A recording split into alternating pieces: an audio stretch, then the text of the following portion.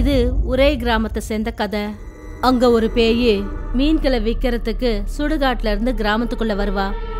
மீனை விற்கிற அந்த பேய் கிராமத்து ஜனங்க கிட்ட மீனை வாங்கிக்க சொல்லி கேட்கல. ஆனா அவங்கள மிரட்டியே மீன்களை விற்கும் மீன் வாங்குங்க மீனே. கசப்பான மீன். விஷம் நிறைஞ்ச மீன்.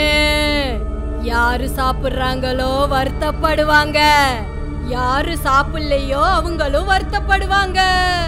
இந்த பேய்கிட்ட நீங்க இந்த மீனை வாங்கித்தான் ஆகணும். வாங்குங்க. மீன் வாங்குங்க. இவங்களுக்கெல்லாம் இப்படி சொன்னா கேட்க மாட்டாங்க.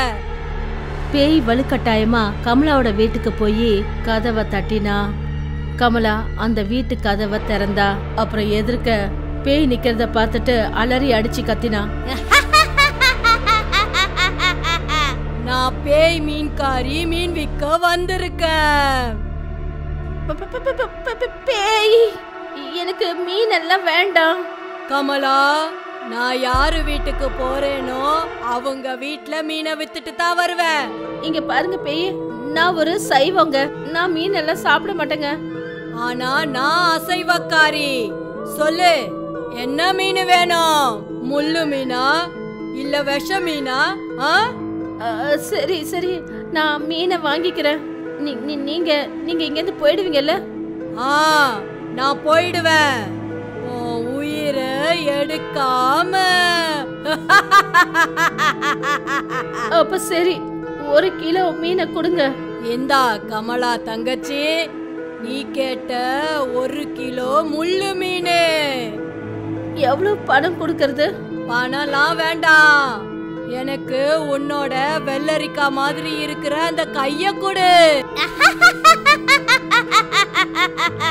அந்த பேய் மீனை வெட்டுற அந்த கத்தியால கமலாவோட கைய வெட்டி வெள்ளரிக்காவை சாப்பிடுற மாதிரி சாப்பிட்டுக்கிட்டே அங்கிருந்து கிளம்பி போனான் கமலா பயந்து போய் மயக்கம் அடைஞ்சு கீழே விழுந்துட்டா. இன்னைக்கு என்னோட கோட்டா முடிஞ்சு போச்சு. இப்போ மீதம் இருக்கிற மீன்களை நாளைக்கு வித்துடுவேன். இப்ப சுடுகாட்டுக்கு போய் நிம்மதியா ஓய்வெடுப்பேன் அருணோட காலு ரொம்பவே சுவையா இருக்கு. அந்த பேய் மீன்காரியோட அநியாயங்கனால ரொம்ப பயந்து போய் கிராமத்து ஜனங்க காளி கோவிலுக்கு போனாங்க. அப்புறம் அந்த தெய்வத்துக்கிட்ட அவங்கள காப்பாத்த சொல்லி வேண்டிக்கிட்டாங்க. அம்மா காளிக்கா தேவி அம்மா கல்கட்டா காளி. அந்த பேய்கிட்டேருந்து இந்த ஜனங்களை காப்பாத்துங்க அம்மா ஆமாம்மா. அந்த பேய் மீன்காரி எங்க வாழ்க்கைய நிம்மதி இல்லாம ஆக்கிட்டா. அம்மா எங்களை இந்த கோரத்துல இருந்து காப்பாத்துங்க. அந்த கோவில்ல ஒரு அற்புதம் நடந்தது. அப்புறம் ஜனங்களுக்கு அந்த அம்மனோட குரல் கேட்க ஆரம்பிச்சது. அவங்க தன்னோட பக்தர்கள் கிட்ட சொன்னாங்க என்னோட அன்பார்ந்த பக்தர்களே உங்க எல்லார் வேண்டுதலையும் நான் எடுத்துக்கிட்டேன் இனிமே நீங்க எந்த கவலையும் பட வேண்டாம். நான் அந்த பேய அழிக்கணும்னு முடிவு பண்ணிட்டேன். நீங்க யாராவது எப்படியாவது அந்த பேய பேசி ஏமாத்தி என் கோவில் எல்லை வரைக்கும் கூட்டிட்டு வந்து விட்டுருங்க. அது போதும். அதுக்கப்புறம் அந்த பேய்க்கு ஒரு முடிவு கொடுக்கறது என்னோட வேலை. கிராமத்து ஜனங்க கோவில்ல போய் காளி கிட்ட முறையிட்டு வந்தாங்க. அதே ஜனங்க ஊருக்கு மத்தியில நின்னுக்கிட்டு யோசனை பண்ண ஆரம்பிச்சாங்க. அதாவது எப்படி அந்த பேய காளி அம்மனோட கோவில் வரைக்கும் கூட்டிட்டு போறதுன்னு யோசிச்சாங்க. ஏன்னா எந்த ஒரு பேயும் காளி அம்மனோட கோவிலுக்கு பக்கத்துல கூட நெருங்காது. எல்லாரும் அவங்கவுங்க தரப்பு யோசனைகளை சொல்ல ஆரம்பிச்சாங்க. பேய காளி கோயில் வரைக்கும் கூட்டிட்டு போறது அந்த காற்றைய சிறகடிக்கிற மாதிரி இருக்கும். அந்த பேயி நம்மள மிரட்டிட்டு இருக்கு. நாம எப்படி அதை ஏமாத்தி கொண்டு போறது? எனக்கு ஒரு யோசனை தோணுது. அதாவது பெண்ண மாதிரி இருக்கிற ஒரு பொம்மைய அந்த மாதிரி பொம்மைகளை துணிக்கடையில வச்சிருப்பாங்க. அதுக்கு பெண்களோட உடைய போட்டு அந்த பொம்மைய நாம ரிமோட் மூலமா கண்ட்ரோல் பண்ண முடியும். இதனால என்ன நடக்க போகுது? அதாவது இதுக்கப்புறம் என்ன நடக்கும்னு சொல்றீங்க?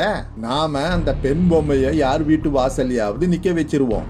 அந்த பேய் மீன் விற்க வரும்போது நாம அந்த பொம்மையை ரிமோட் மூலமா ஓட வச்சு அந்த பேயை விரட்டுவோம். பேய் அந்த மீனை விற்கிறதுக்கு பொம்மை பின்னாடி ஓடும். பேய் அந்த பிளாஸ்டிக் பொம்மை கிட்ட கேள்வி கேட்டுச்சுன்னா யார் பதில் சொல்லுவாங்க? யார் ரிமோட் கண்ட்ரோலை கையில் வச்சிருக்கிறாங்களோ அவங்க தான் சொல்லணும். ஆனா பொம்மையில் இருக்கிற மிஷின் அவங்களோட குரலை பெண் குரலா மாத்திரும். எப்படியாவது காளி கோயில் எல்லை வரைக்கும் அந்த பேயை வர வச்சிடணும். அந்த அம்மா அதனுடைய கதையை முடிச்சிடுவாங்க. எங்களுடைய யோசனை உங்களுக்கெல்லாம் சம்மதம் தானே? எங்களுக்கு பூர்ண சம்மதம். வாங்க மார்க்கெட்டுக்கு போய் ஒரு பெண் உருவ பொம்மையை வாங்கிட்டு வருவோம். கிராமத்து ஜனங்க அவங்களோட யோசனைகள் படி ஒரு பெண் பொம்மையை கொண்டு வந்து ஏதோ ஒரு வீட்டுக்கு வெளியில நிக்க வச்சுட்டாங்க. அப்புறம் எல்லாரும் ரொம்ப எச்சரிக்கையோட அக்கம் பக்கத்துல போய் மறைஞ்சுக்கிட்டாங்க. யாரோ ஒரு ஆளு கையில ரிமோட் வச்சுக்கிட்டு அந்த பெண் உருவில் இருக்கிற பொம்மைய ஆப்ரேட் பண்ணாங்க. அந்த பேய் மீன்காரி மீன் கூடைய எடுத்துக்கிட்டு கிராமத்து ஜனங்களோட திட்டம் எதுவும் தெரியாம அந்த பெண் உருவ பொம்மை கிட்ட வந்து நின்னுச்சு. மீன் வாங்கிக்கோங்க. கசப்பான மீன். விஷம் நிறைஞ்ச மீன். ஏ மீன்காரியே கொஞ்சம் இங்க வா. இன்னைக்கு நான் உன்னுடைய எல்லா மீன்களையும் வாங்க போறேன். ம்? அடேங்கப்பா. இன்னைக்கு இந்த பொம்பளை அவளே என்ன அவகிட்ட கூப்பிடுறா? போவோம். நல்லா தான் இருக்கு. பேய் தன்னோட மீன் கூடைய தூக்கிக்கிட்டு அந்த பொம்மை கிட்ட வந்ததுமே அந்த பெண் உருவ பொம்மை அந்த இடத்த விட்டு ஓட ஆரம்பிச்சது. கிராமத்து ஜனங்க இந்த முழு விளையாட்டையும் பார்த்துட்டு இருந்தாங்க. அப்புறம் ரிமோட் மூலமா அதை கண்ட்ரோலும் பண்ணிட்டு இருந்தாங்க. அந்த பேய் ஓடிக்கிட்டே என்ன சொல்லுச்சுன்னா அட எங்க ஓடுற? நீதானே என்ன கூப்பிட்ட? என்னோட வீடு எல்லைக்கிட்ட இருக்கு. சீக்கிரமா வா. உன்கிட்ட சங்கரா மீன் கிழங்கா கோலா வஞ்சர மீன் இதெல்லாம் உன்கிட்ட இருக்கா? இந்த மீன் எல்லாமே இருக்கு. கொஞ்சம் நின்னு தான் பேச. இரு இதுக்கு மேல ஓட மாட்டேன். பாரு என் வீடு வந்துருச்சு. உன்னோட வீடா? இங்க எந்த வீடுமே இல்லையே. இதோ இருக்கே காளி அம்மனோட கோயில்.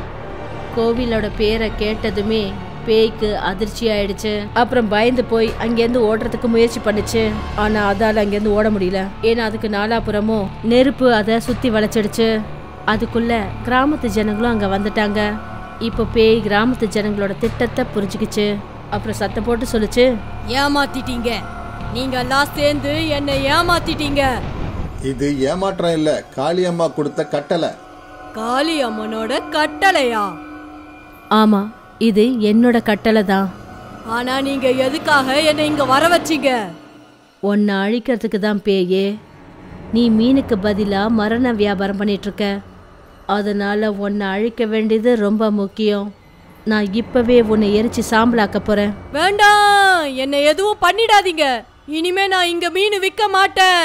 மறுபடியும் நான் சுடுகாட்டுக்கே போயிடுறேன். பேய் மீன்காரியே இனிமே இங்க வரதுக்கான உனக்கு வாய்ப்பே கிடையாது. வேண்டாம்! என்ன நம்புங்க! யாருக்கும் என்னால எந்த ஒரு பாதிப்பும் ஏற்படாது! நீ ஏற்கனவே கமலாவை கொன்னுட்ட அருணோட காலை வெட்டிட்ட அப்புறம் உன்னால இன்னும் எத்தனை அப்பாவிகள் பாதிக்கப்பட்டிருக்காங்க தெரியுமா? அதுக்கான தண்டனை உனக்கு நிச்சயம் கிடைச்சாகணும். நான் உன்னுடைய இந்த வாழ்க்கையை அழிக்க போறேன். பேயை எந்த நெருப்பு சூழ்ந்திருந்ததோ அது வேகமா இன்னும் கொழுந்து விட்டு எரிஞ்சுக்கிட்டே இருந்தது. அப்புறம் அந்த பேய் அது கூட இருந்த மீன்களோட சேர்ந்து எரிஞ்சு போய் பஸ்மம் ஆயிடுச்சு கிராமத்து ஜனங்க சந்தோஷமாயி அம்மாவுக்கு வாழ்க வாழ்கன்னு கோஷமிட்டாங்க.